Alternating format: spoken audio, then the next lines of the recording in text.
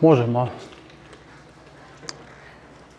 Želim sve da vas pozdravim i ovaj... Ne, bre. Želim sve da vas pozdravim i drago mi je da je manja grupa, ali odabrana ekipa ovde mojih kolega i zato sam posebno srećan. I malo pre sam, ajde opet da ponovim tu priču, na ovoj, na ovoj temi, ovaj, dobro, ovo uvodni deo neće, ajde onda sačekat ćemo malo.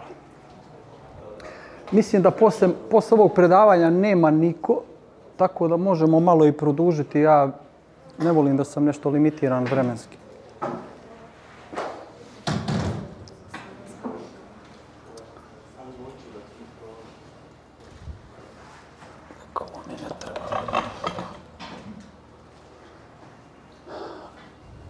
Gojaznost i oblast gojaznosti, ja lično zadnje tri godine baš sam intenzivno izučavao tu oblast i malo pre sam kolegam rekao više energije, truda, ljubavi, volje sam uložio nego za pisanje doktorske disertacije, pošto je stvarno kompleksna oblast i pogotovo ovaj deo genetski, epigenetskih faktora gde se zapravo, pogotovo s ovom epigenetikom, najmanje ljudi i bave.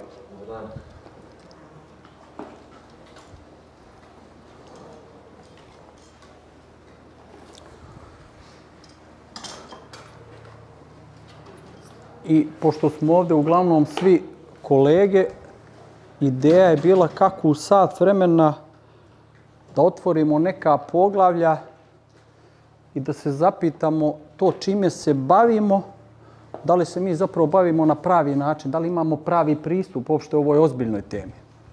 A prosto kako mi, ajde kažem, sportsko-medicinski treneri, narošto naglazavamo ovo medicinski, biti trener koji je pratio neka moja predavanja zdravstvenog fitnessa zna da naglašavam ovaj medicinski deo jer je bitna su ta medicinska preznanja da bismo se mi bavili s čovekom. Poznavanje anatomije, fiziologije, biohemije i kako mi zapravo iz koje vizure ugla doživljavamo te ljude koji dođu, koji su gojazni.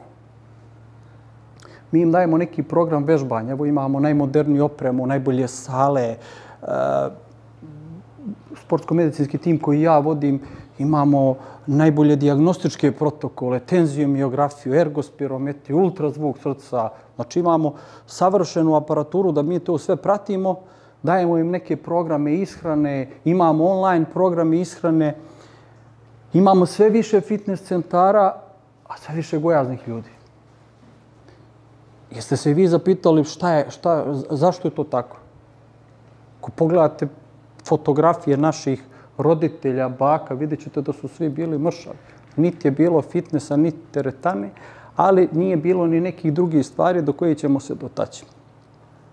Jedan moj na prvom mjestu prijatelj, a i klijent, naš poznati akademik Sokol Sokolović, i pre nekih deseta godina kad smo se upoznali i trenirajući, družeći se, On je inače čovjek završio četiri fakulteta, akademik u četiri države.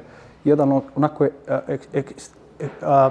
genijalac koji uspeva da jednom rečenicom dopiše neku problematiku. I jednom prilikom on meni kaže, profesore, biti gojazan, to je strašno nekulturno. Znate, ono, kad vidite gojaznu osobu, ona od svojim izgledom već mi stvaramo neku sliku o njoj. Ili kad vidite nekoga ko se bavi fitnessom, bodybuildingom, vi već stvorite sliku o njemu. I pre deset godina meni je ta njegova rečenica, složio sam se s njom, međutim, kako sam izučavao ovu oblast, sve sam bio dalje od toga. Imamo jedan primer. Marko zna, Marko mi je pričao na Hilandaru da je upoznao jednog monaha koji je gojazan.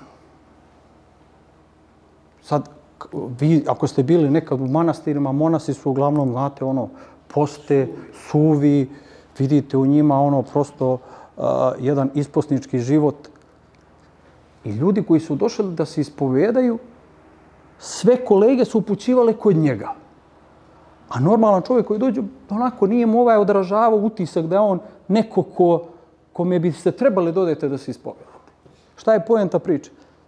Taj čovjek je mnogo više postio od svih njih.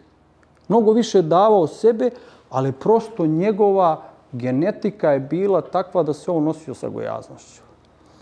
I iz tog razloga želim i vama da sugerišem da na prvu kad vidite gojaznog čovjeka ga ne osuđujete i sigurno ste i u vašem okruženju i u radu s vašim klijentima susretali ljude koji ulažu mnogo napora, ali uvijek nekako i dalje ostaju gojazni.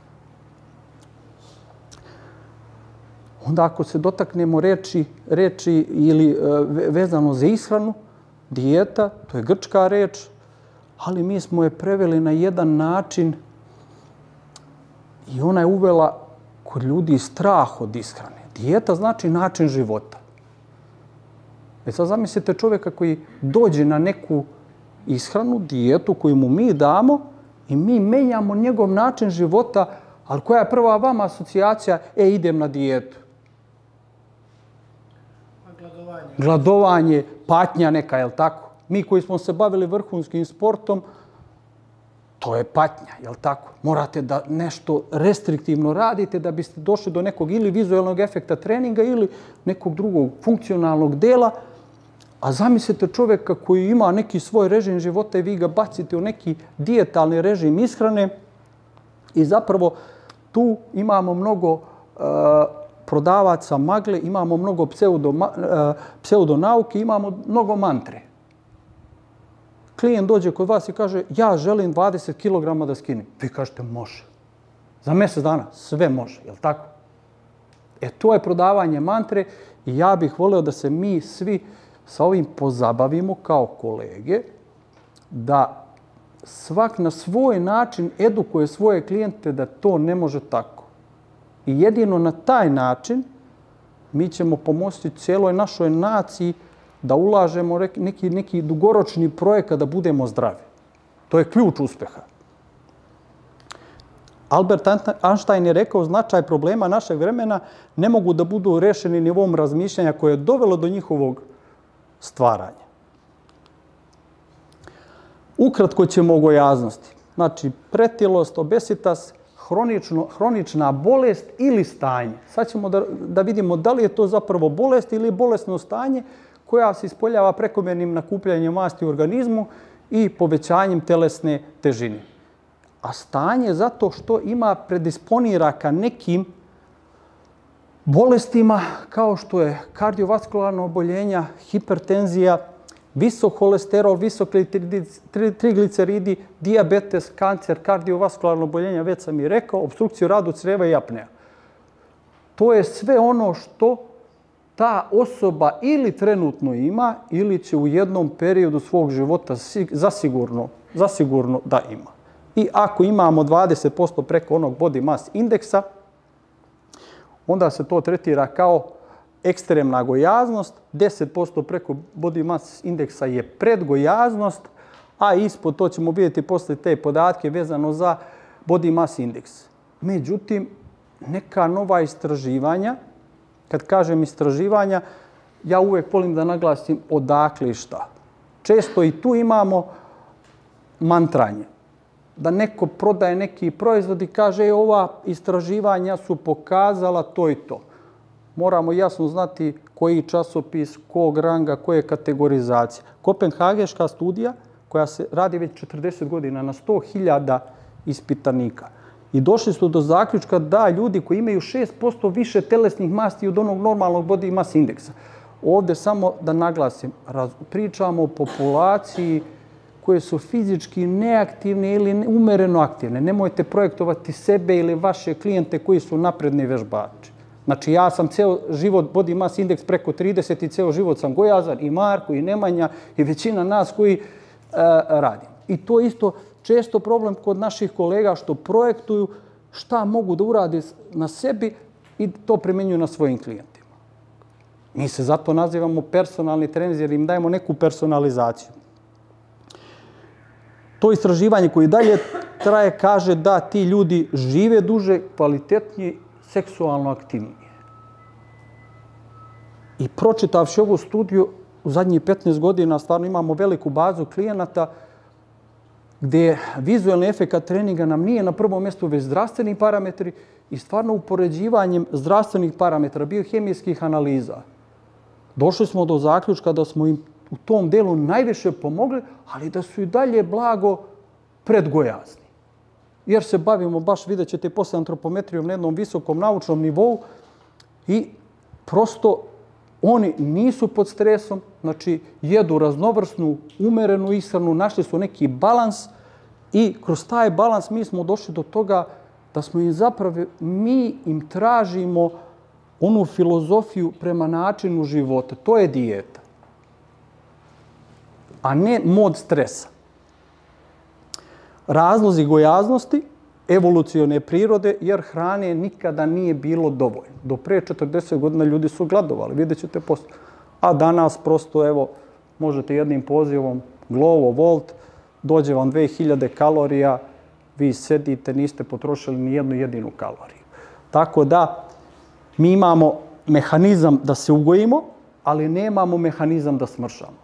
Taj mehanizam da se ugojimo, on je također evolutivne prirode, nasleđen od pre 50.000 godina, a priroda nam nije dala isti takav mehanizam, jer niko nije očekivao da će biti toliko hrane i zapravo ključna stvar da imamo previše šećera i da imamo epidemiju hipokinezije.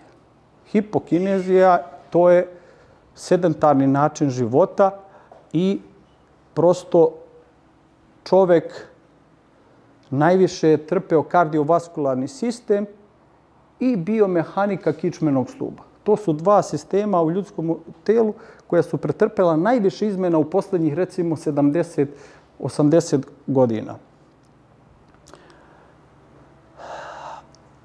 Ovdje imamo jedan grafikon koji prikazuje porast tog prosječnog body mass indeksa stanovništva u Sjedinjene američkim državama. Uzeo sam ovaj grafikon ne zbog Sjedinjene američkih država, već mi je bio vizualno prihvatljiv i vama možda da bude zanimljivo da vidite kako je taj body mass indeks. Sa leve strane imamo muškarci i žene od 1984. do 2014. godine kako su te brojke rasle da napomenemo, ajde sad body mass index, znači odnos telesne mase u kilogramima, podeljen sa kvadratom telesne visine u metrima i on se predstavlja u tim nekim jedinicama, to nije ni bitno. Malo pre smo pomenuli, znači ovo je za populaciju koja nije fizički dovoljno aktivna.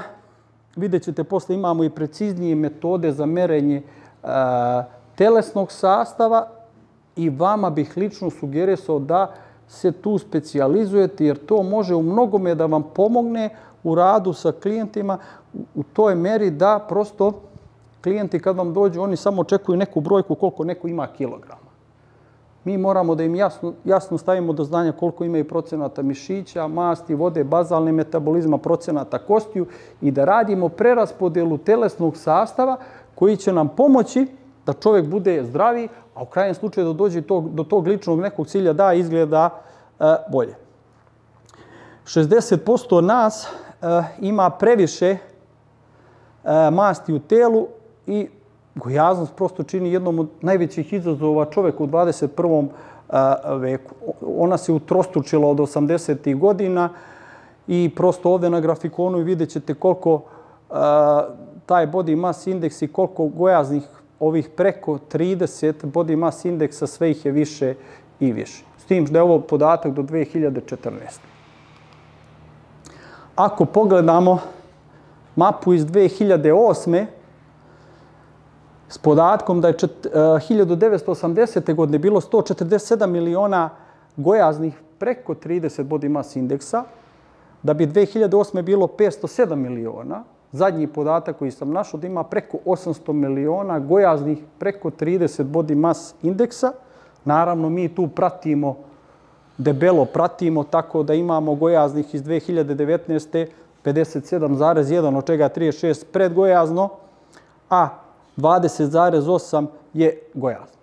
Nisam teo da se bavim sad sa populacijom dece, tu smo tek poražavajući i na tome trebamo svi zajedno da radimo. Da utičemo na roditelje, te dece, jer ti roditelji prave problem i, i te epigenetske loše navike prenose na svoju decu. i nek nam je Bog u pomoći šta nas čeka. Ne gledajmo druge, nego da se okrenemo mi nama. Ovde sad da ne, samo da vidim da li ovo može da... Imamo, znači, Sjedinjene američke države, imamo ovde regiju Polinežanska ostrva i Bliski istok, gde su svoje životne navike unijeli mnogo šećera, mnogo cis i transmasti, to je dovelo do, do epidemije uh, gojaznosti.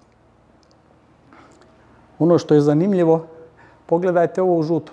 To su ljudi koji gladuju. Imamo i 800 miliona ljudi koji gladuju. Ovo vam je geopolitika. Rat. Možete da vidite kako je absurdno. S jedne strane imamo ljude koji ne znaju šta će sa sobom i gojazni se, s druge strane imamo ljude koji gladaju.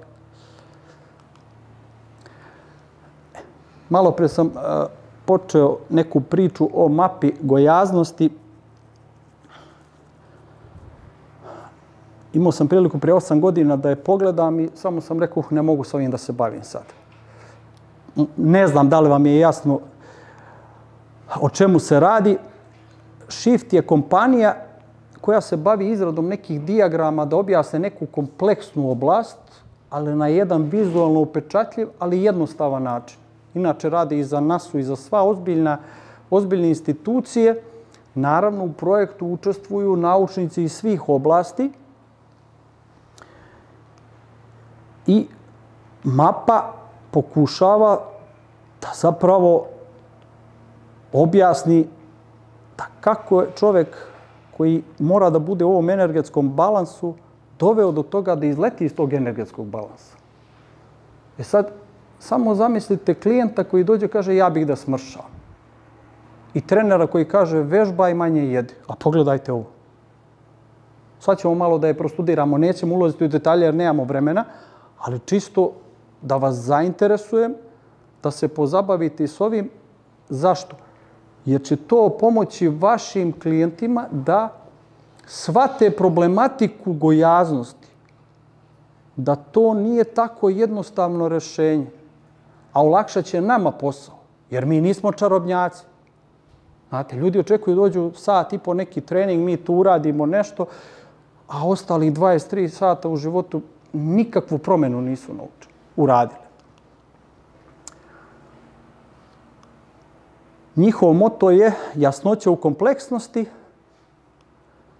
Komplikovana je kompleksna, jer i oblast kojom se bavi je veoma komplikovana. E sad, mapa ima nekoliko delova. Ja ću samo ukratko preći ovo, ali želim čisto da dobijete informaciju. Ja bih bio najsrećniji da ovu mapu gledaju studenti medicinskog fakulteta i moje profesorke Dragoj Sanje Malje sam to sugerisao i u Kragujevcu na medicinskom fakultetu na fiziologiji da bi ovo studenti medicinskog fakulteta trebali da znaju. A ne da uče u ishrani iz učbenika od pre 50 godina i da se bave ručnim računanjem kalorija. Prosto mnogo smo daleko kao institucije i izlaže nam i, i studenti koji prosto nemaju elementarno znanje. I hvala Bogu, mi kao sportsko-medicinski treneri trebamo da iskoristimo to. Naravno, ne smemo, jer nismo lekari u saradnji sa sportsko-medicinskim lekarima koji žele da se posvete ovoj temi na pravi način, da sinergistički radimo i da čoveku suštinski pomognemo da trajno reši neki problem. Malo pre ste videli neke isprekidane linije na mapi i pune linije,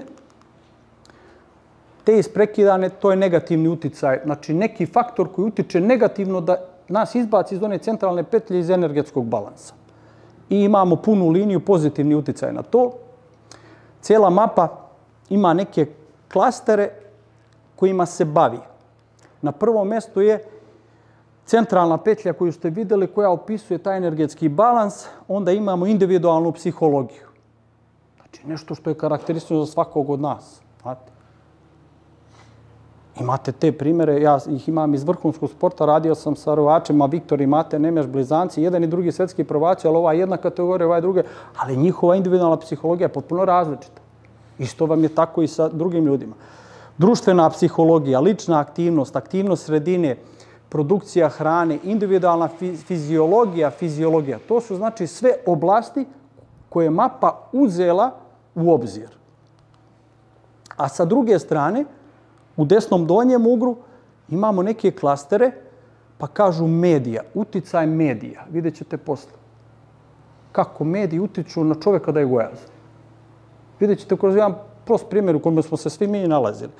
Onda društvo, psihološko, ekonomski klaster, hrana, aktivnost, infrastruktura, razvojni, biološki i medicinski. To su sve delovi mape. Ovo je taj energetski balans kao centralni deo. Vidite kako se naslaja na fizičku aktivnost. Sve ovi faktori što su bliže ovom energetskom balansu, oni su bitni. I sad ja sam ukratko, nisam ukratko, dve godine smo je prevodili, ali ukratko, verujte mi, ovo je toliko kompleksno, ali je toliko zanimljivo, jer koga bude zanimalo može da me kontaktira pa da sednemo. Možemo i svakog ovog ćoška da dođemo do energetskog balansa da vidite koliko nešto nebitno tamo deluje da vas izbaci iz ravnoteže. Znači imamo jedan centar i krugove i desi se da čovjek koji je na nekom režimu ishrane trenira i desi mu se poremećaj neke dnevne rutine, da ga izbaci i da kaže joj danas neću da trenam i da otvori frižder da pojede sve. Ili da odustane prosto od programa. A onda pogleda Instagram i vidi a, bajku. Smrša je za mjesec dana 20 kg. I on odmah srećan, idem tamo. Pa vidi da to nije prošlo, opet padne, pa onda čuje neku drugu bajku. A ovo je realnost. I verujte mi, na ovaj način ćete odbiti mnogo klijenata. Ali, onaj klijent koji razume, koji, koji želi da razume ovo, on će ostati trajno kod vas. Ono što vam je moj savjet, nemojte da budete protočni bojler. Da klijenti dolaze i odlaze, dolaze i odlaze. Nego bavite se s čovekom i nek taj čovek ostane kod vas. I on će vam biti najbolja reklama i on će vam doneti sljedećeg zadovoljnog klijenta. Ako želite da mu se posvetite, naravno, potpuno. Odvojio sam namen ovaj centralni deo i sad svaki ovaj deo mi smo tu preveli i recimo važnost fizičke potrebe. Znači koliko je važno da čovjek bude fizički aktivan da bismo sačuvali ovu centralnu petlju, odnosno energetski balans. Sklono za očuvanje energije. To je ono evolutivno. Težili smo da sačuvamo dovoljnu energiju jer nismo znali da li ćemo da ulovimo sljedeći put antilopu. Iz tog razloga smo i gojazni. I to je onaj gen proždrljivosti koji smo mi e, poneli sa sobom. Oslanjanje na farmaceutske lekove ili suplemente. Vidite reklamu, čarobna spirulina ili kako god. Čarobna. Ili, vidjet ćete posle deo vezan za liposukciju. Neću da pominjem sad da, da, da ne bih neku reklamu pravio ili kontrareklamu, bilo koju dijetu, nije mi to namjer uopšte već prosto a, da ljudima objasnim ovaj deo da to može da ih izbaci iz tog energetskog balansa. Nivo dostupne energije. Izvinite, mogu samo na kontekst Može, može, uvek, u, uvek, uvek. Na oslanjanje na farmaceutske ljekove, ali a, studija jedna, odnosno istraživanje je rađeno vezano za magnezijum konkretno, a sigurno je slična situacija i sa ostalim vitaminima i mineralima ovaj, u povrću i voću, da a, sada u odnosu na 50, 70, ne sjećam se koliko godina unazad je u pitanju bilo, a, nivo magnezijuma u voću i povrću je za 40% manji nego u tom nekom periodu, da li je 50 ili 60 To je već kvalitet, bezbednost ishrane. To je već tema... 40% manje magnezijuma dobijamo iz hrane nego što mi mislimo da dobijamo, a s druge strane, uh, nije baš poželjno osloniti se na suplementaciju, jer dosta toga je neregulisano. Znate kako, bilo koji element, često magnezijum, kal, imam grčeve, uzmi magnezijum. Prvo moramo uh, razumeti šta je taj magnezijum, šta on radi. On na nivou aktina, miozina, zajedno s kalcijumom, sad da ne, ne dužimo priču, otvara taj troponin, tropomiozin i dolazi do mišićne aktivacije. Zapravo, mi bez jona kalcijuma konkretno, koji se oslobađa iz endoplazmatičnog retikuluma, on nam daje mogućnost aktivacije. Bez kalcijuma nema života. Srce ne bi moglo da radi, jer je to je poprečno prugasti mišić. Magnezijum delom učestvuje u tom procesu. Ali ako imamo nedostatak magnezijuma, to ne znači sad daj deset puta jače. Pa šta se desilo za vreme COVID-a sad? Svaka baba 3000 jedinica vitamina D uzima. Znate koje su preporuke Australijskog instituta za sport performans? 500 internacionalnih jedinica. A zamislite svaka baba u raznim suplementima da pojača imunitet. Imuni, imuni sistem, imuni sistem. Pa ne možete da terate auto 10.000 obrtaja non stop. Možete gas pa ga vratite. Tako vam i telo funkcioniše. Vezano za D vitamin, sad to opet tema za diskusiju. Što ćemo sa onim uh, farmaceutskim kompanijama koje daju recimo po 200 ili 300 hiljada jedinica koje uzmeš i onda ne uzimaš mjesec dana.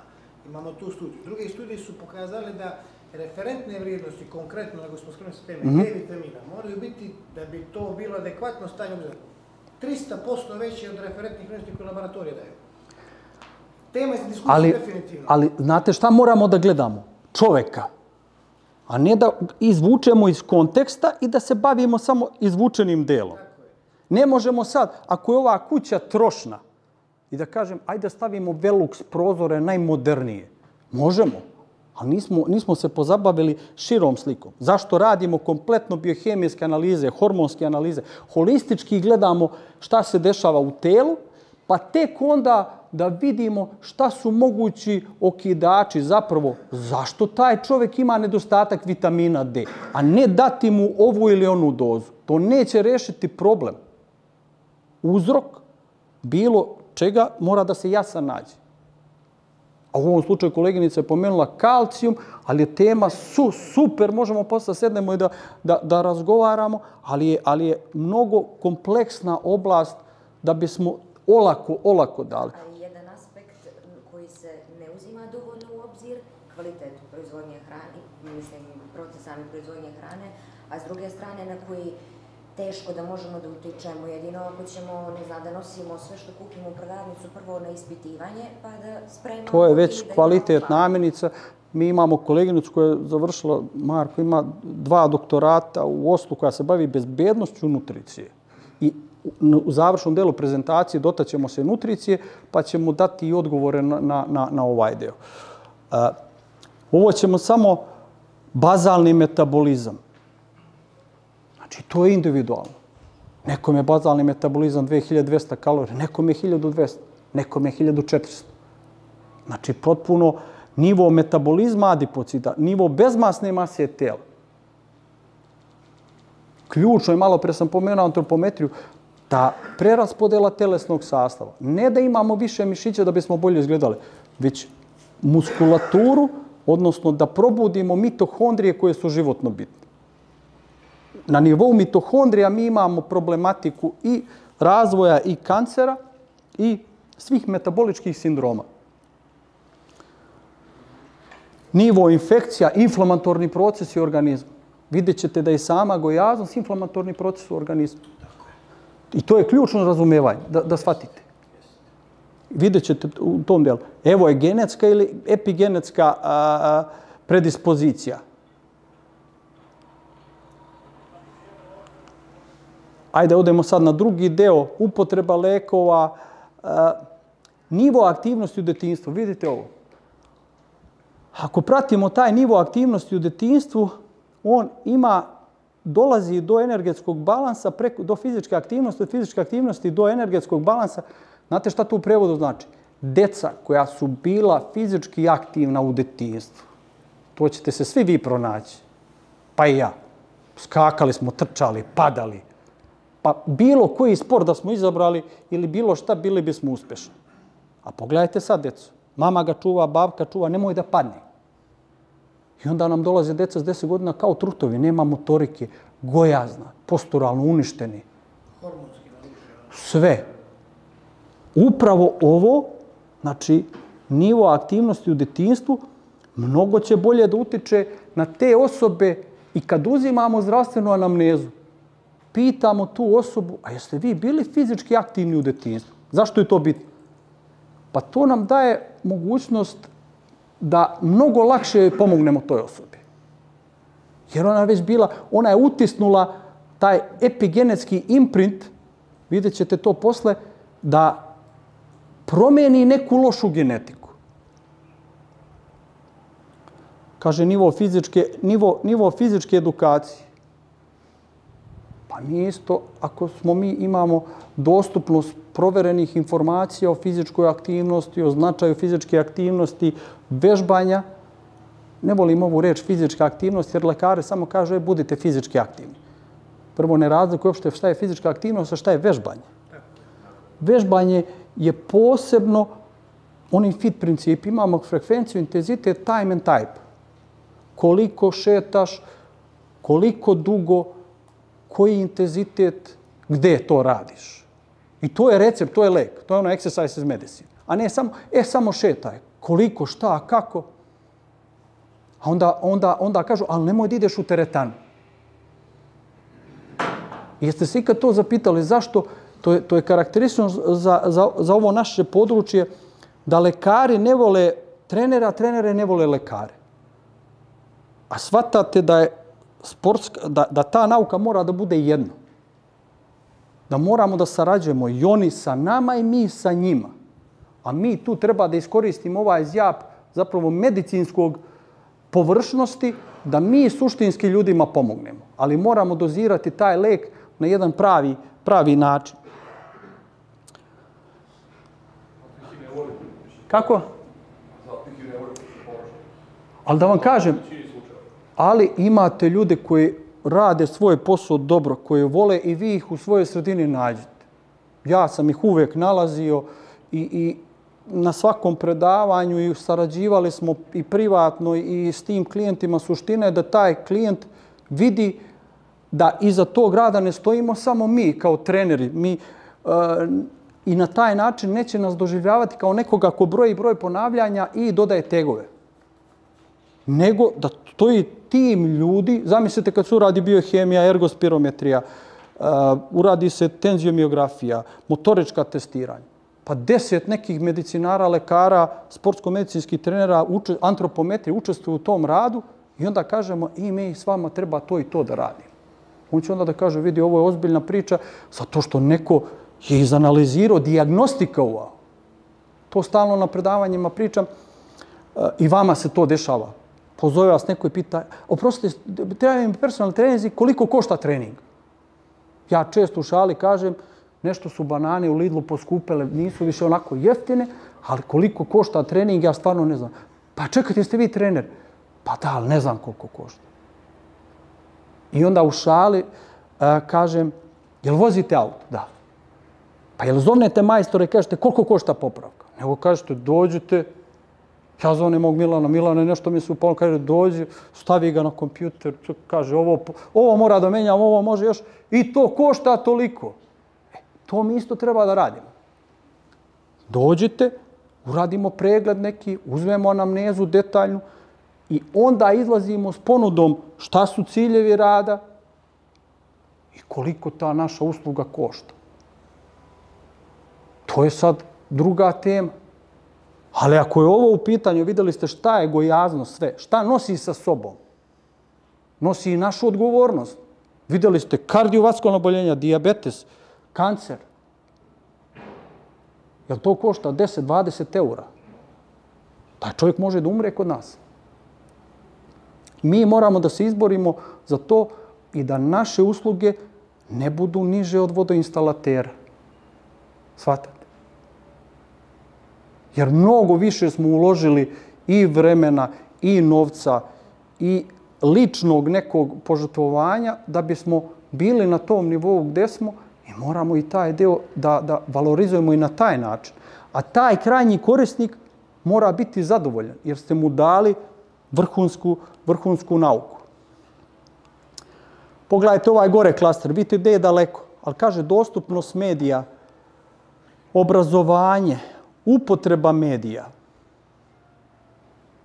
Sedite kući, gledate Ligu šampiona uplatili ste tiket i da vam bude još lepše, ženu ste oterali, da vam bude još lepše, daj onu Coca-Colu iz friždera, daj neku čokoladu. I kikiriki. Kako?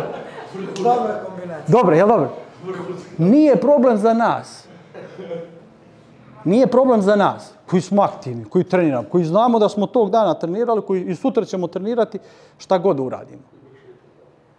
Znači, mi znamo sebe da kaznimo i kažnjavali, ali ne zaboravite, ni- nismo mi u pitanju.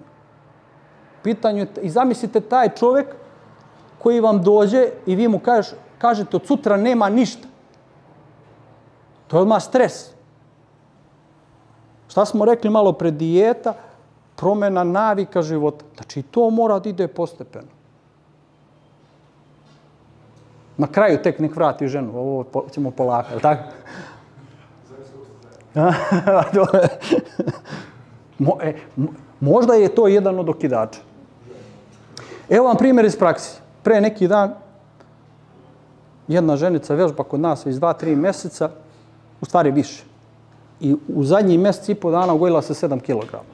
Samo je skliznulo. Ja sednemo i razgovaramo. Dva sata smo razgovarali. Na kraju je plakala.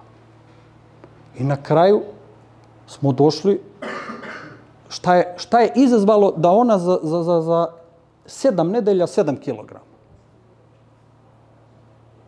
Klasično ono ženska introvertno, zatvoreno, živi sa mužem, muž misli sve u redu, ona u svojim folderima u glavi to drži, ne iskazuje se, ode kod drugarice, kaže, Ne ispovida se kako treba. nema razgovora. Upravo to drugarica potvrdi te njene misli duboke i ona je sad meni rekla deo problema. Ja sam je samo pitao, a da li to tvoj suprug zna? Ne, pa ga voliš, volim. Pa kako je moguće da osoba koju najviše voliš ne zna te stvari? E, ali to su, zašto vam to pričam? To su okidači da je ona prestala da sprema hranu i da jede hranu po restoranima. Doručak u McDonald's. Kolima samo svrati, uzme i znači to je samo znači, šećer u velikoj količini. Ovde sad dolazimo do nekih pitanja zašto su neki ljudi metabolički efikasniji i troše više energije. Da bismo ovo shvatili, moramo da poznajemo biološko variranje i moramo da razumemo variacije u tom genetskom nasleđivanju i zašto smo mi postali gojazni kao i nacije i globalno ispitivanje razloga zbog kojih ljudi sve više jedu. Zamis, zamislite da je naš dragi profesor Čokorilo organizovao da ovdje imamo jedan catering. Ja sam stavio fotografiju, ali vi zamislite da imamo ovdje catering. I opisujemo, imamo otprilike četiri grupe. I ja vam sad kažem, slobodno se poslužite. I ja ću. I slušajte me. Ja bih malo uzeo i vi isto priđete, uzmete. Prva grupa ne bi uopšte ustala, nego bi slušala mene. Prosto došli ste da čujete predavanje, nemate taj odnos sad da, da, da morate da, da jedete. Druga grupa bi ustala, malo bi pojela i vratila bi se i slušala, i ja isto. Znači, svi ćete se pronaći. Nemoguće da se ne pronađete. Treća grupa bi ustala, Znam ko bi bio u trećoj grupi, samo ću ga pogledati. on je rekao da je druga, ali e, mislim da se pronašao sad ljudi. Malo. A znate koja je četvrta? Četvrta grupa, kad se završi predavanje, pitate ga, jel vam se dopao catering? On i ne zna da je jeo. E, to je opasno. On nije ni svestan da je jeo. Imam jednog klijenta koji je ono u, biznisu 500 zaposlenih i bivši sportista i vodi računa šta jede. Znači, dostavljaju mu hranu sve po protokolu. Sportski tip. Znači, s tim ljudima je lagano raditi jer je navikao da se driluje vaterpolist. Ja ga pitam, ali gde grešiš? Iskren je veoma, što je mnogo bitno. Pa kaže, uveče kad dođem telefon i neko me iznervira i ja otvorim frižder. Ne, dok razgovaraš, reci mi šta radiš. Pa kaže, jedem. On toga uopšte nije svestan. A onda kad završi razgovor, nervozan je, on je već pojeo, znate čovjek u 120 kg može pojede koliko hoće. On posle postaje svestan toga i onda otvori friždar i onda je sad ću da se uništim. E, to je ta četvrta grupa. I vidite koliko imamo samo, samo bitnih stvari u onom prvom razgovoru sa klijentom koji obavljamo, koji mora biti, znate, detaljan, taj anamnestički razgovor. Mi im često kažemo da oni na mail pošalju nutritivne navike u prethodnih 5 dana. Ali kad onda usmeno razgovaramo sa njima, znate koliko nađemo još kalorija skrivenih? Pa pitamo, dobro, gde vi radite? Pa u kancelariji. A koliko vas ima u kancelariji? Pa deset. Aha, je li jedu ti ljudi u kancelariji? Da. Pa je vas neko nudi nešto? Pa da. Ona ćapne tu, ćapne vamo, ćapne tamo i to je 500 do 1000 kalorija sam, ali ona to ne doživljava kao da je jela ili jeo, uh, i onda dođe kući, nisam ništa jeo ceo dan. Gladan. Znači, dobra, detaljna namneza, ono što fali u našem zdravstvenom sistemu, nemamo detaljnu namnezu da neko ispita tog čoveka sat vremena kako spava, šta radi, detalje. Znači, ovo smo absolvirali, koja je koja grupa. Ovdje su vam sad neki podaci da recimo se trošilo 30 do 40 milijardi dolara godišnje na različite dijete, na različite vežbanje, na različite usluge fitnessa, a na kraju ništa se ne dešava. Malo pre sam pomenuo merenje telesnog sastava. Dugi niz godina, ja lično se bavim s tim sa mojim timom. E, izašla su dva rada u zadnje dve godine. E, radili smo merenje bioimpedancom, DEXA skener kao zlatni standard i merenje kožnih nabora. Radili smo sa vrhunskim sportistima, to mi je bila tema doktorske disertacije. 33 kickboksera, 33 rvače, 33 judiste, svi su znači ranga 1, znači državni šampioni ili ovaj svetski evropski prvaci. Neću da vas davim sad, sad sa tim delom, ali prosto kad uradimo merenje telesnog sastava, dobijemo pogotovo DEXA skener. Zašto smo uradili e, korelacije? Pa došli smo do formula, recimo sad tačno znamo za džudistorovača koji protokol da primenimo merenje kožnog nabora, da ne moramo da ga šaljemo na DEXA skener koji je komplikovan skup, već imamo kaliper i uradimo merenje kaliperom ili uradimo merenje bioimpedancu. Koga bude detaljno zanimalo, nek mi se javi pa ovome možemo da razgovaramo, ali dobijamo jasne varijable i procente i onih visceralnih masti. Pa, Dexa je zlatni standard, znači ona je potpuno pouzdana 100%. Uh, ono što smo mi našli, kroz ove tri grupe sportista, tri formule merenje kožnih nabora su najbolje korelirale, visoka korelacija. I uh, Miša je bio na merenju sa svojima, ovaj, i došli smo do jasnih formula da sad ja sa kožnim naborima tačno znam kad mi dođe kickbokser u koji protokol ga stavlja.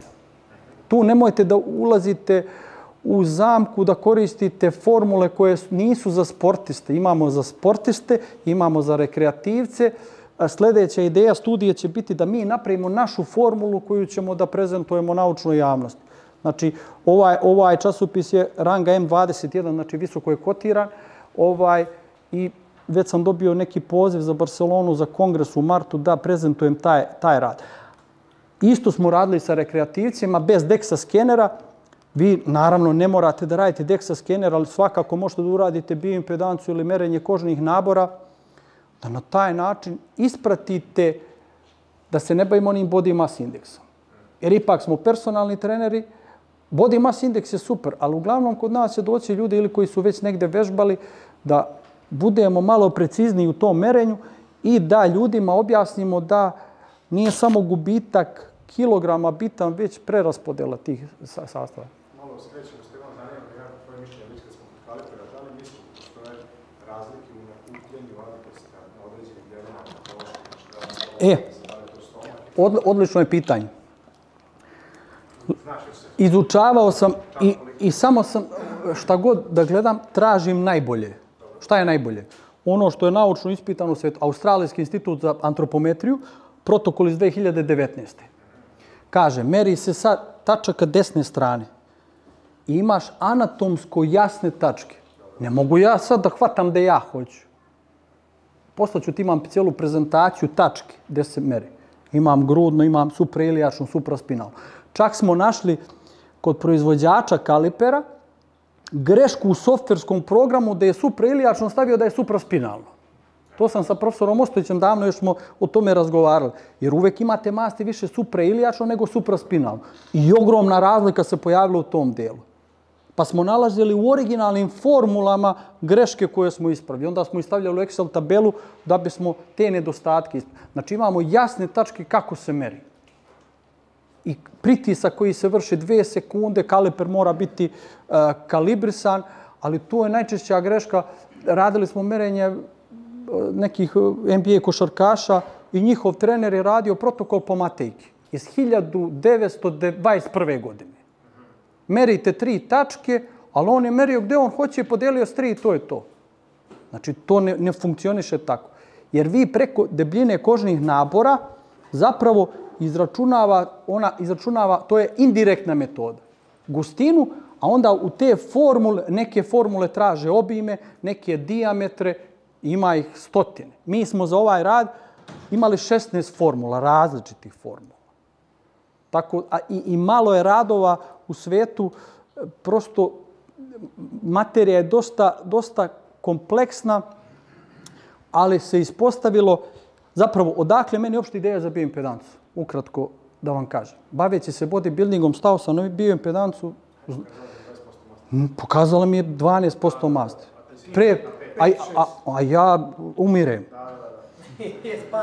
Ne, dva dana pred evropsko prvenstvo na, nemam, nemam obraze, znači. Mo, možda sam na donjoj granici 3,5 sigurno.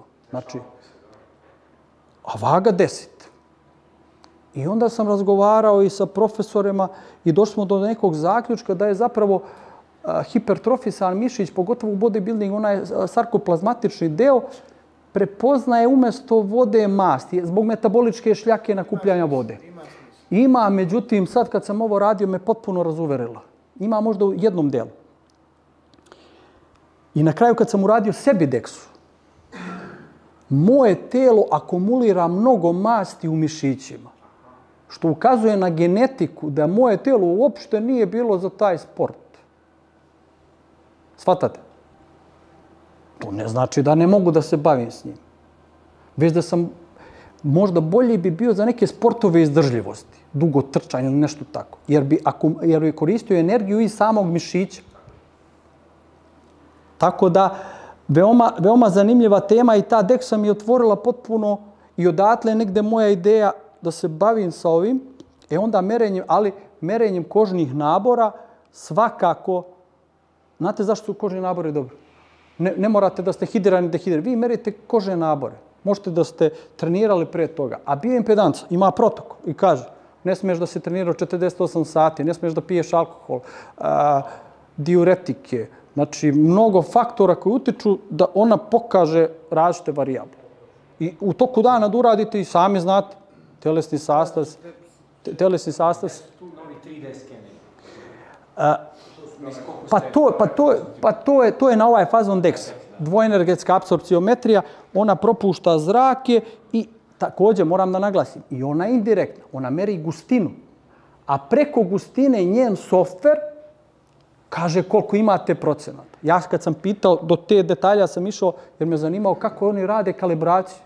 I došao sam Francuzi, rade, kaže, zakolju svinju, tranžiraju je i to je direktna metoda merenja masti. Stave na vagu i kaže, ona ima toliko masti i prema tome izvrše kalibraciju. A kalibracija, kal, zvuči glupo, ali to je jedina direktna metoda je disekcija kadavera leševa. Mi smo na medicini gledali leša, znači odvoji se mast i da izmeriš koliko neko ima mast. To je jedina direktna metoda. Sve ostale metode, podvodno merenje, deksa, magneta, oni su sve indirektne metode koje proračunavaju, preko gustine dolazimo do, do zapravo telesnog sastava. Ili podvodno merenje, zaronite u, u kadu s vodom, zapremina vašeg tela, preko zapremine vašeg tela dolazite do gustine, preko gustine do procenata. Malo komplikovana tema. Ja sam imao par puta priliku da izmenim 3D, ovaj, na ovim sajmovima što bili Canon, pa i tako dalje, mogu kažem da je tehnologija, iako oni tvrde da je dobra, dosta daleko a, od realnosti, poznajući, poznavajući svoje telo, ono što bi se najbolje pokazalo je in body kad pričamo o, o, o magama. I tu, tu je najbliže nekoj mojoj oceni ovaj, postupku masti, mišiće i tako dalje. Ja ću vam dati podatak sad, in body, ovaj na kom je rađeno, je one modernije generacije skupe. Pored sam, vidite pored vagu, BOR od 100 eura, bolju korelaciju je uradila s Dexom. Ova mi je dala samo više varijabli. Ona vam da to. Ali što se tiče u ovom slučaju procenata telesnih masti kod ovih grupa mi je bolje korelirala od ove skuplje vage. Tako da, e, jer i te vage, imali smo recimo slučaj da je vaga prodata, a da je namenjena za južno-koreansko tržište. Svatate? Smo mi potpuno afroamerikanci, južno, shvatate, do, do najsitnijih detalja. Kaliper vam je tu od ovih indirektnih metoda najpouzdaniji, ali morate se, ali morate se, zavisi od merioca. I ako ti meriš, ne mogu ja da izmerim pa kaže Marko, aj sad ti izmeri istog čovjeka. Ne, ja ga merim. To je, to je, to je. Ali, veoma jednostavna metoda i nije skupa. I možete da krenete da implementirate i da objasnite vašim klijentima, e, gde tu dolazimo do problema? Kod gojaznih nije po- pouzdana. Ona je dobra za sportiste. Pa, kod ekstremnog gojazna ne može ni Kod ekstremnog gojazne nema. Kod ekstremnog gojazne znate šta radite? Bioimpedanca je okej, ili, ili DEXA skener, ali i DEXA je komplikovana, ne možete da stanete. Mora iz dva dela, bukvalno na pola.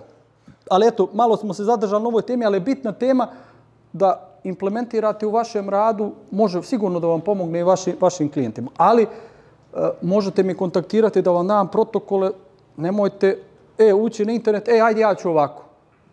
Znači, ili ja sam probao na sebi, ja sam vam rekao, ja sam probao na sebi, ali sam probao na 100 ljudi i ovaj, došao do tog zaključka.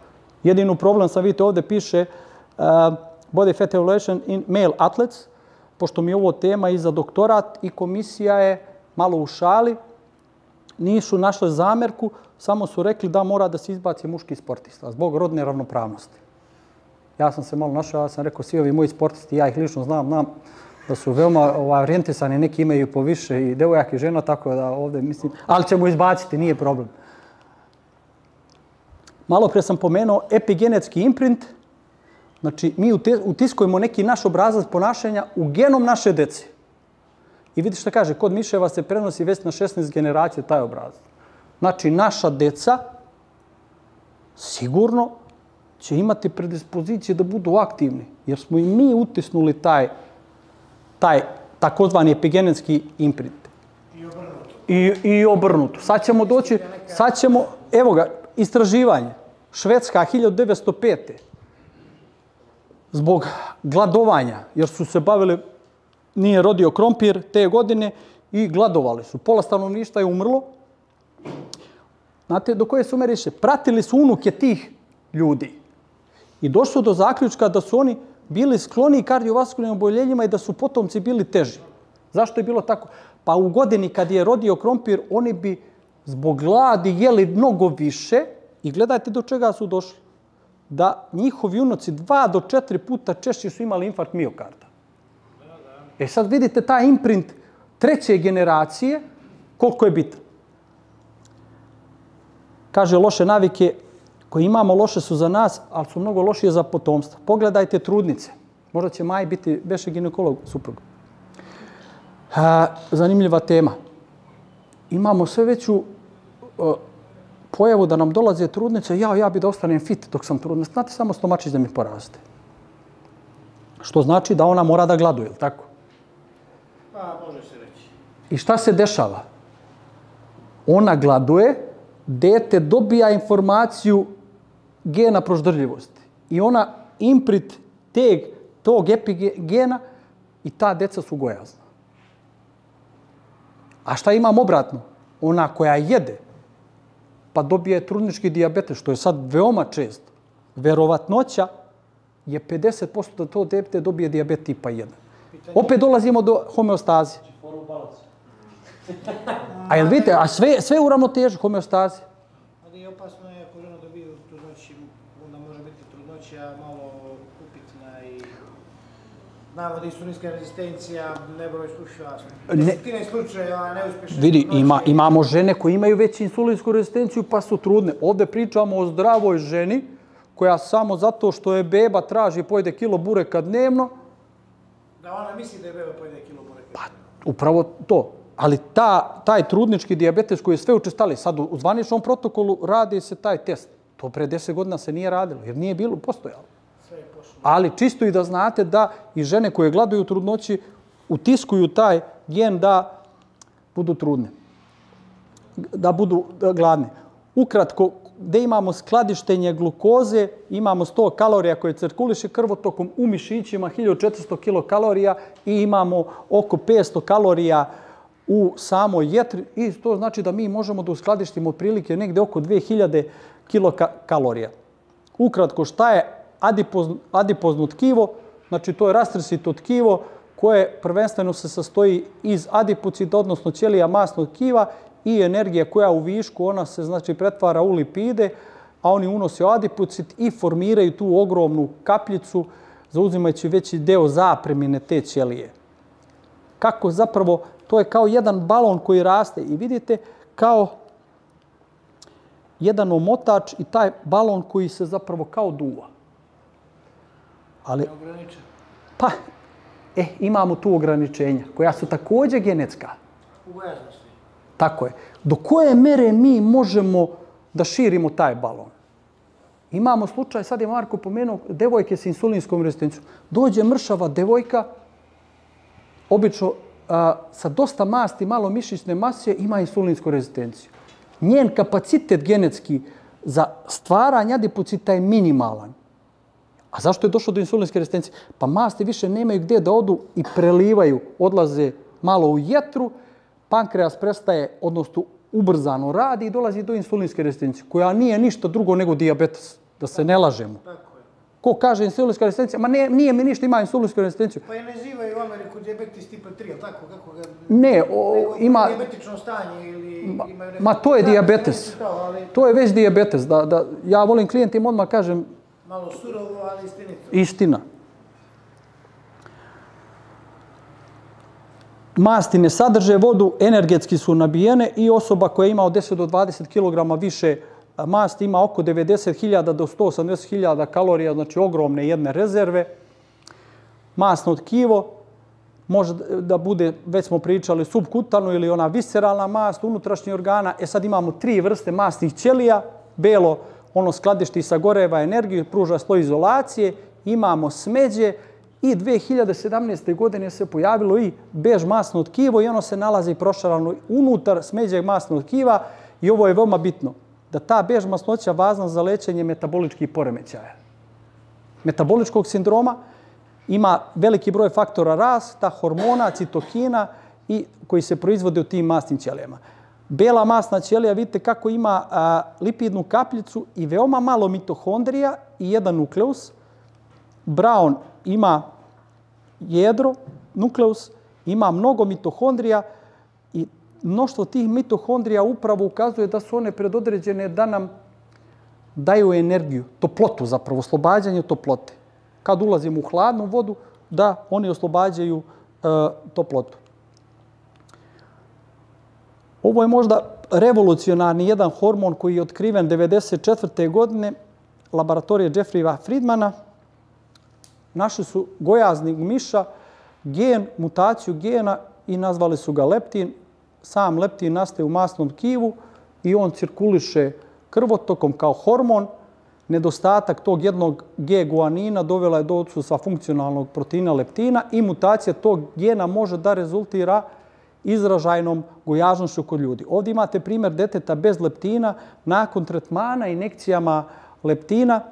Dečak je promenio telesni sastav i onda su tad pomislili evo rešenja, ali nije rešenje. On, o, ovo se samo dešava kad imamo potpuni nedostatak leptina. To je, to je dosta. Jeste, re, redko, redko je. koja imaju, da kažem, smanjenu, da kažem, ovaj, E, upravo to. Nedostatak u krvi tog hormona znači i nedostatak masti. To se kod nas dešava. I da gladujemo. Tu je greška koju pravimo kad gladujemo. Mi dajemo pogrešnu informaciju i leptin nije signal sitnosti, već hormon gladovanja. Mozak, mozak težine 2 do 3% cijele telesne težine. A gledajte koliko troši, 25% šećera. I isključivo radi na, na šećer. Šta se dešava kad telo a, tokom gladi radi, jeste počinje da vrši trijažu hranjivih sastojaka. Gde- Šta je bitnije? Da li je bitnije da ja produkujem svoj testosteron ili da nahranim mozak? Mozak. Tako dolazi do, do ovaj, nedostatka reproduktivnih e, hormona, a na kraju gasi se imunni sistem. Znači ja kad preživljavam, ja na prvom mjestu moram da dajem energiju mozgu. Pa sve ostalo. I zato se gase, gase te, te funkcije. Zašto žene, devojke, pogotovo koje se bave vrhunskim sportom, ne bi smele da idu ispod 17% masti? Upravo ovo. Gasi se jer gladuju. To je ključ.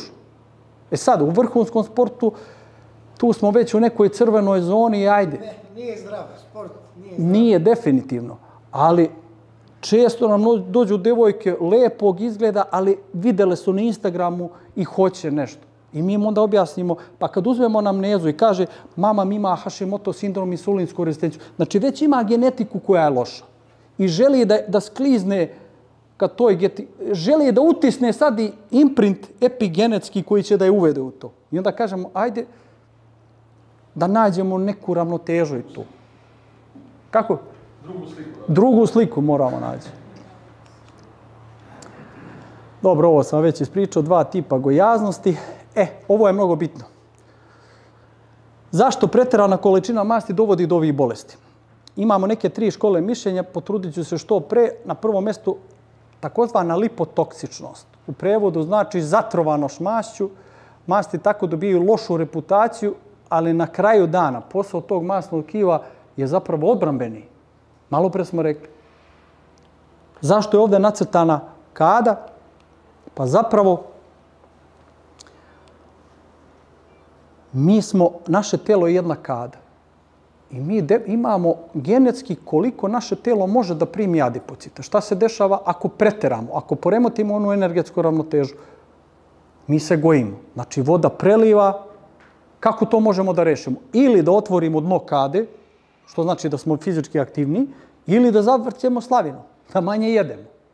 Ali ovo je individualna karakteristika i zato malo pre, na početku predavanja onaj pomenuti monah ne treba osuđivati jer njegova kada prosto je bila takva da može da akumulira toliko, toliko masti. I tu može sad doći i do, malo pre smo rekli, i do insulinske rezistencije, na kraju do diabetesa tipa 2.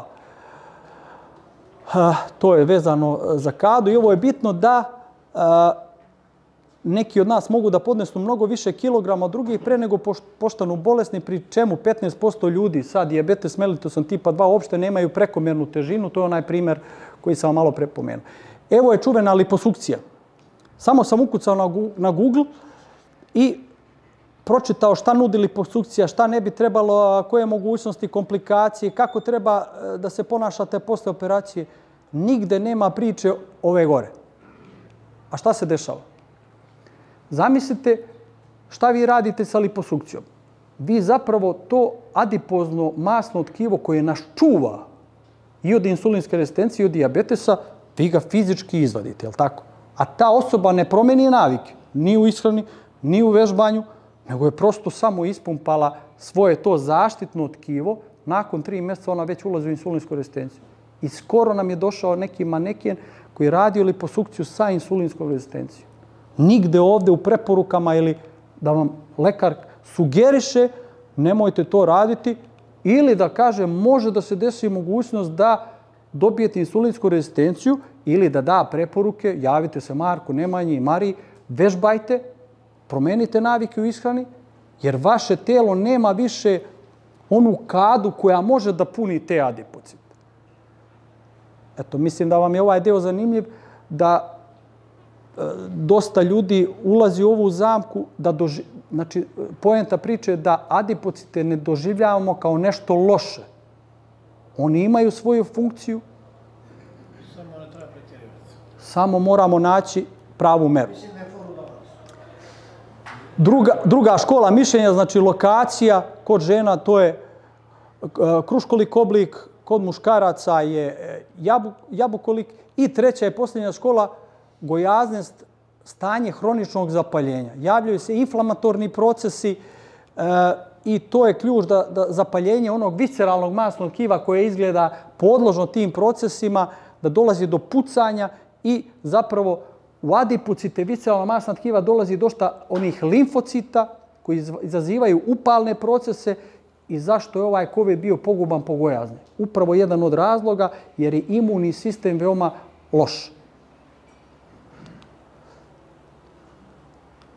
Ako se vratimo u praistoriju 50.000 godina, čovjek je morao da juri antilopu, za taj rad je morao da pređe 30 km, da utroši 2000 kilokalorija i kada uhvati tu antilopu, on unese tih 2000 kalorija, ali se uvek plašio da ne ostane gladan jer nije siguran da će da ulovi opet tu antilopu. I šta je onda radio? Onda je tražio, tražio je dodatne izvore da dopuni te depoje tako što je jeo voće ili neke slatke masti i mi smo to zapravo evolutivno nasledili. Ovo sam teo da vam pustim, ali ne znam da li će hteti ovde, ako neće. Možda i hoće.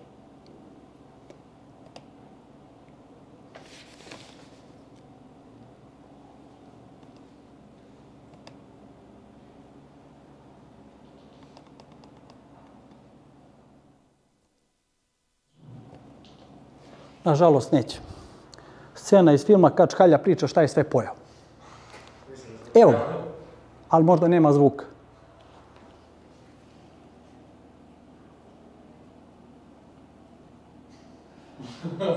Nije ni bitno. On nabraja ovde šta je sve jeo, jeo, jeo, jeo i to je sve u predjelu jeo. Poenta priče, sklonost ka desertima. Je vam se ovo nekad dešavalo? Odete na slavu, svadbu, ne možeš više ništa. I onda ona domaćica kaže, a hoćete tortu, kolač. I vi pojedete, jeste se ikad zapitali kako je moguće da, da onoliko hrane pojedete, muka vam je, kao čkalja, a posle pojedete pola torte i onda kažete, e, sad mi je baš muka. E, i to, i prva asocijacija, idem na slavu, idem na svadbu i da se najedem. Emotivna vezano za hranu. Ali zašto imamo tu sklonost ka desertima? Upravo pratili su šta medved radi kad lovi losos. Prva dva dana, znači on se sprema za zimski san i hvata losos i jede. Nakon par dana već kreće da otkida glavu i jede samo kvalitetan deo, a na kraju, gledajte šta radi, samo isisava masni deo, onaj najslađiji. Upravo vraćamo se na evoluciju mi smo nasledili to prežderavanje kao odbrambeni mehanizam da imamo dovoljno depoa. A gledajte šta se sad dešava. Jednim klikom vam stigne 2000 kalorija. Nemate bojazan da ćete biti gladni. Ali opet, daj sada naruči mi palačinku. Znači, ta hipokinezija nije se evolucija promenila. Promenile su samo epigenetske navike koje su dovele do ovih sklonosti ka desertima. Ovde sad su neka istraživanja, ajde, već smo i prekoračili vreme, neće da daje, ovo je bitno. Magnetni stig, delovanje šećera na mozak, identično delovanju kokaina. Izaziva identičnu zavisnost. Dopaminski Isti efekat. bus. Tako da, To je najveći, Zavi- Zavi... sam studij, najveći problem je ovaj, tih dopaminskih, da kažem, dopaminskog prženja. e, a odakle Kod dopamin djece- ide? Kod djece je to... Ne ide dopamin samo iz mozga. Naše bakterije, bakterije, Cijena flora, cijena one daju signal I gledajte šta, šta kaže, 2050. će se taj broj utrostočiti.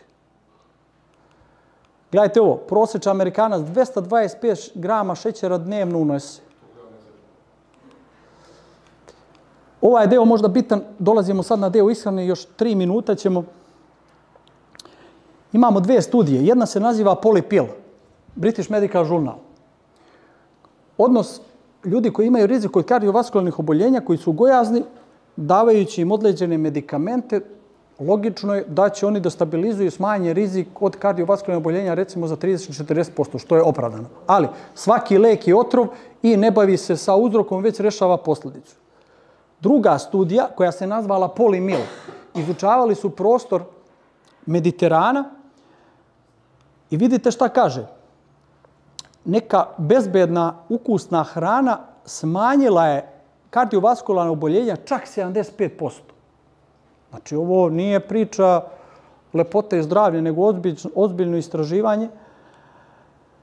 I ovdje imate i prevoz šta je rađeno i kako je rađeno. Ukratko, za muškarce uzimanje polimila dnevno povećanje ukupno očekivanog životnog veka 6,6 godina i kardiovaskularne bolesti 9 godina. Gledajte šta su im preporuke bile da jedu. Pričamo o kardiovaskularnim oboljenjima povezanim sa gojaznošću i ovo su preporuke dnevno. A, ovde mi je nekako volšebno nestalo, nema ga. Aha, evo ga, riba. 118 grama četiri puta nedeljno morske ribe. Crna čokolada 30 grama, voće i povrće ukupno 400 grama, beli luk 2,7 grama, badem, maslinovo ulje. Na, na, na, ovo, ovo je uh, nedeljno s tim, ovo je, ovo je sve dnevni nivo opšte preporuke. Ne govorim je sad svaki dan jedete to i to. Nego su oni, kako su uzimali njihove nutritivne navike, sve iz, izvukli šta su oni jeli, zapravo su našli korelaciju te hrane da, da su ljudi koji su se hranili ovako ili slično smanjili rizik 75% i ta studija se nazvala uh, pol, pol, poli, polimil. A ovo su preporuke koje su oni dali, dati su crno vino, zbog fitosterola koji utiče na smanjenje oksidisanog LDL-a koji je zapravo ključan za nastarak one ateroskleroze. Znači, kad uradite nivo holesterola, pa piše faktor rizik. E, tu je velika greška, barem na ovim prostorima naših lekara, što gleda ukupni holesterol i daju vam statine. Nije bitno koliko imate ukupno holesterola. Bitan je odnos HDL-a, tog high density lipoproteina i odnos triglicerida. Ako su trigliceridi visoko, a HDL nisko, tu znajte da imate oksidisanog tog low density lipoproteina koji se nakuplja na, krd, na krvne sudove i utiče da su oni krti, nemaju dovoljnu e, elastičnost i veliki rizik kardiovaskularnih oboljenja. A dokazano je kroz ovu studiju da ako ljudi jedu okvirno ovu, ove namirnice, da će da smanje rizik od kardiovaskularnih oboljenja. Znači svakako preporuke koje treba ljudima da date koji su gojazni, bolje im dajte ovo nego bilo kakav drugi nutritivni plan. Jer ćete sigurno pogrešiti. Jer ne znamo njima ništa. Marko, zanima me što je stavljeno baš badem, pošto u njima voće znamo da ima jedno, drugo, treće, četiri. Verovatno su ljudi najviše, ne ulazim sad, jer uh, ja sam... Da ima nema, ali u suštini šta je pojenta? Koštunjavo. Indijski badem, 30 grama. Beli luk, beli luk, najbolji antibiotik. Znači, pro, pro, Tako je. Crna... Nije ta hrana, moraš da je ta hrana za svakoga. Recimo, i vino će ti ukine histaminsku reakciju, recimo kod većine ljudi da imaš kasnije migrene, crna čoklača i sape, to tema da ali, koje voće, koje op, Ali ovo je jedna opšta, opšta, opšta, Ovdje je sad rupa bez dna. Ovo opšta, opšta slika. Razlike u vrsti ribe. Morska riba, mor, morska, morska riba. A one mjere koje su bile navedene, one moraju da se odnose na Dobro, to je u studiju. Ovo je, ovo, ovo, ovo je studija na veliko, na veliko. Tako ove mjere kao da su... Mislim da su muškarci. Mislim da je muško, ne, ne znam. Imate ovde, znači, uđite ovde na, imate doji broj, pogledajte, znači, e, gastronutricija, znači naučna disciplina koji se bavi proučavanjem, kuvanjem gastronomijom ili molekularna gastronomija. Ovo su sad preporuke Harvard instituta za nutriciju i Mayo klinike, životnoj bitnosti šta bi ljudi koji imaju gojaznost, kardiovaskularno oboljenje i sva ove moguće oboljenja trebalo da jedu i kojim redosledom. I sad taj nutritivni tanjer, kako budemo nabrajali, on treba da bude sve bogatiji, kako budemo išli kad dalje da bude sve manji. Na prvom mestu znači kompletno žitarice celog zrna, zatim povrće, voće. Na četvrto mjesto oni su također stavili koštunjavo e, voće, alkohol, sva ulja, zdrava, zatim mleko, mlečne proizvode, ribu, morske plodove, živinsko meso i jaja i tek na kraju crveno meso. To su opšte preporuke. Naveo sam vam dve, dve institucije koje su možda najbolje u svijetu, koje se bave nutricijom na tom najvišem nivou, koje je ovaj, a, znači Harvard institut za nutriciju i Mayo klinika. Ovako izgleda otprilike vizuelno jedan nutritivni plan. On mora da ima svoje sastojke, mora da ima recept kako se sprema i on mora da zadovolji čula. Ta hrana mora da bude ukusna. Ono što oni daju sve. Ono što oni daju i način kako se ta hrana jede. Kombinacija šta jedete u kom trenutku. Redosled kako jedete. I često nekad pojedete neki obrok, pojedete, ali posle toga vam teško padne, digestivno je težak, takva hrana u želucu truli, onda cijeli fragmenti te hrane u tankom crevu se absorbuju i tu dolazi do autoimunnih bolesti. Hrana mora da bude ukusna, digestivno laka i da što pre dođe do tankog creva kako bi mozak poslao signal sitosti da kaže stanite. Rađena je studija gde ljudi najduže žive u Japanu na jednom ostrvu preko 120 godina. I gledali su strategiju šta su oni to jeli, osim morske ribe, morskih plodova i svih ovih preporuka, zapravo su jeli hranu koja je digestivno laka i onog trenutka su stali kad su dobijali taj signal. Mi smo učeni zbog gladovanja, moraš sve da pojedeš iz tanjira. Jel? Stani kad dobiješ taj signal. Ali, ne, ali Nemanja, ne možeš da staneš ako odeš na čosak i pojedeš picu koja je koja truli. I način pripreme. Vidite ovdje u receptu ima na koliko stepeni, koliko minuta. To je ozbiljna nauka. Gastronutricija je ozbiljna nauka. Ali mora da zadovolje čula, ukus i tu dolazimo do onog ključnog dela promjena navika u ishrani. I kad vi vidite koliko ovdje namirnica ima, znači zadovoljili ste svoje potrebe. Hrana ne smije da bude isključiva, ona mora da bude raznovrsna i umerena. Kako doći do toga, to je najteže. Taj deo. Neka hrana bude vaš lek, a lek vaša hrana. Ako bismo svakoj osobi, ovo je ključno možda za sve nas, mogli da damo pravu količinu hrane i vežbe, ni premalo, ni previše, pronašli bismo najsigurniji put do zdravlja. Svako preterivanje je suprotnosti s prirodom i ono što smo malo pre rekli da sve bolesti počinju crevem. Malo sam odužio, ali hvala, hvala i vama, ja, ja, sam, ja sam uživao. Je tema koja bi mogla satima. Nastavit ćemo mi priču, slušam. Pitanje, e, zanima me e, tvoje razmišljenje o calories in, calories out. Mnogi predstavljaju kao nešto što je jednostavno, kao što nešto, nešto što je matematika. Mi što smo edukovani, sami znamo da na taj calories out da utiče mali milion faktora. Evo ih. Na DNK nivou, na nivou mikrobiota, na nivou endokrinologije, na nivou dnevnog stresa. Nemanja, danas smo zagrebali. Samo tačkicu. Koliko je ovo kompleksna oblast.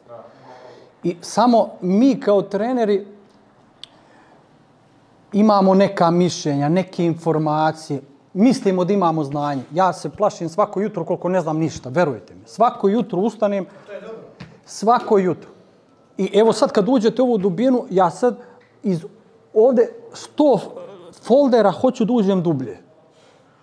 Jer mi neke stvari nisu jasne. Ali da bismo to razjasnili, opet moramo da uđemo opet u, u fiziologiju, u biohemiju i da, da, da posmatramo individualnu osobu. A nema, a brojanje kalorija, pa to je izgubilo smisao. Potpuno. Potpuni smisao. Ne, mogu da kažem jednu stvar. On traži opravdanje da bi mogao da jede nekontrolisano da se ne goji. Ne može, količina hrane. Nemanja, šta je ključ? Da li ćeš pretvoriti kalorije ili ćeš pretvoriti neku vizualnu Da vam, ka, da vam kažem jednu stvar. Sad, sad, sad li, lično, moje, lično moje iskustvo, ja više volim da se bavim naukom, evidence-baseom i istraživanjem, ali lično moje iskustvo, baveći se bodybuildingom i patnjom, gladovanja, e, promjena hormona, upotrebom raznih stvari koje ja nikad nisam krio, I ne treba. nema potrebe, jer to je sport kojim sam se ja bavio i koji volim. Ali drugo, kao sportsko-medicinski trener, šta moj klijent treba da dobije? Svatate. To nema dodirne tačke. Ja mogu da iskoristim neke metode hipertrofije za diabetičara. Hipertrofija je idealna da rešite diabetes. Apsolutno. I da iskoristimo te veštine u našem programu. Ali ako ćemo se ovom temom bavimo, ljudi moramo da uđemo u ozbiljnu nauku. Da se manemo mantranja, e, izlačenjem iz konteksta kao ova priča koliko šta čeka da pogledamo širu sliku. Hajde da nađemo šta taj čovek jede, koje su mu navike, a ne koliko kalorija. Da. Mora detaljno, detaljna krvna slika. Znate koliko naša krvna slika koju damo klijentima košta do 200 eura? Na, sve, nikad ni jedan lekar im nije dao da urade to, takvu krvnu sliku. Možda jeste, ali kompletni krvni Ma to, ali znaš kad daju? Kad je već kasno. Mi moramo da se bavimo prevencijom. Kakav ti je mikrobiom? Kako? Mi živimo i sa bakterijama i sa virusima i s gljivicama. 10 na 13 u naših ćelija isto toliko ima bakterije. Pa što kad odemo u Egipat dobijemo dijareju? Pa nismo naviknuti na te bakterije. Moramo onu tabletu popijemo da se adaptiramo. Ali priča vezano i, i za bodybuilding i gladovanje, ja 10 godina ni na kakvom režimu nisam više bio.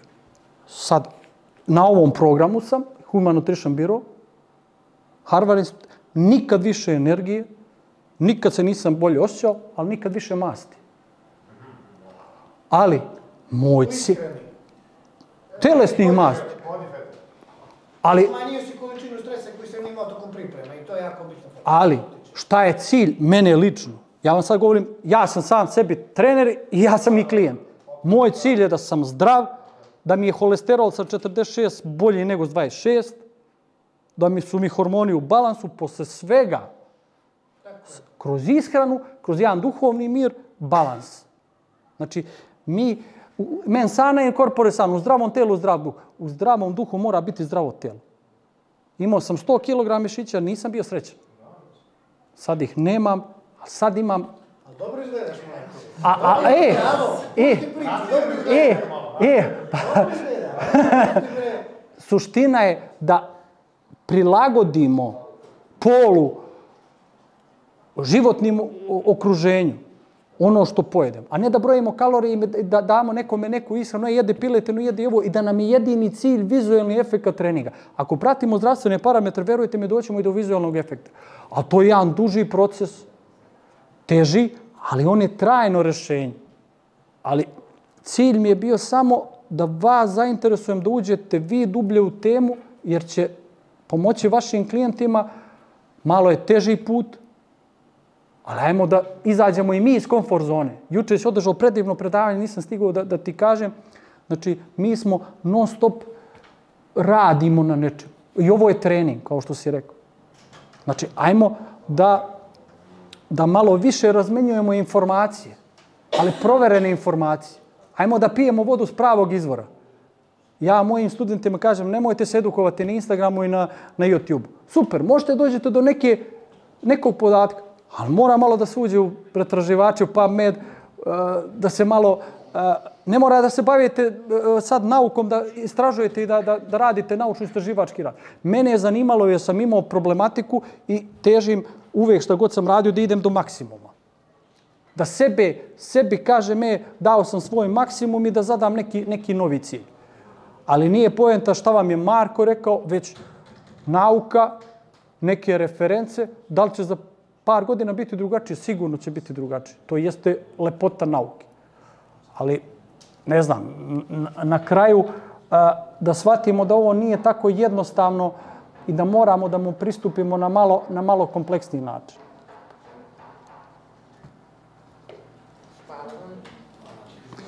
Još jedna informacija. Imam samo još jednu informaciju vezano za zdravstveni kurs koji smo pokrenuli prošle godine. Uzet ću vam samo još uh, minut vremena. Radi se o zdravstvenom fitnessu kursu koji je mentorski u malim grupama do pet članova. Već je jedna grupa završila po, prošle godine. Samo da vidimo da li ga ima. 26. novembra počinje, aj sad ne mogu da ga, da ga nađem ovdje, nije ni bitno. Obrađujemo temu, centralna tema je upravo gojaznost, metabolički sindromi, kardiovaskularno oboljenja, kancer, imunologija, biomehanika kičmenog stuba traje šest nedelja i sve informacije možete dobijete na Health Fitness ovaj, od njih. 26. januara počinjemo jedini preduslov da ne može svako da ga upiše, već ljudi koji imaju medicinsko preznanje, koji su završili neki od naših kurseva, ljudi koji su, koji su, koji su već dugo u praksi, tako da ovaj samo pet, pet ljudi će biti Predavanja su... Predavanja su, ne, predavanja su na medicinskom fakultetu. Moja profesorka Sanja Mazić uvodni deo drži diagnostiku dve nedelje, ostali deo držim ja sa mojim kolegama, doktorima, traje šest nedelja. Imaćemo mogućnosti uh, online, ali ne snimanja, već samo online. Ali mislim da ipak bolje... Beograd, Beograd, Beograd, Beograd. Svakog vikenda, 26. krećemo, subota, nedelja, do negde srpske nove godine se sve, sve završava. Ali sve kod Čokorela se informišite, pa koga bude zanimalo, eto. Ja sam lično radio na kurikulumu četiri godine, tako da jednu grupu smo već prošle godine uradili.